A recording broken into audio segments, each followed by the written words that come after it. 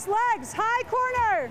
Albuquerque's Yes, Robbie Bova Davis. coaches water polo, mostly with kids. But this Good. fall, she's in Much for the better. challenge of her Get life. It's not safe, but um, if we go, if we're given the green light, it's safe enough. Bova is traveling halfway around the world to teach water polo to the women of Afghanistan. Right now, for the women, it's actually the most dangerous place in the world for women to live, um, let alone for women to travel.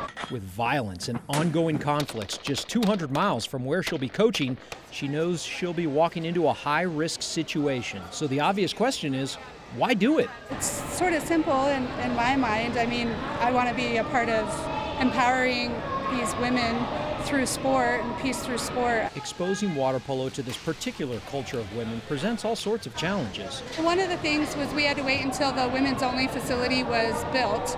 Uh, women cannot use the men's facility, men can't use the women's facility. And then there's the issue of bathing suits for women who traditionally can't be in public unless fully covered. It's going to be a couple year process to design a swimsuit, whether it goes to the elbow and the knee or whether it has to go all the way down. We'll work with different swimsuit companies that want to take on the challenge and the project with us.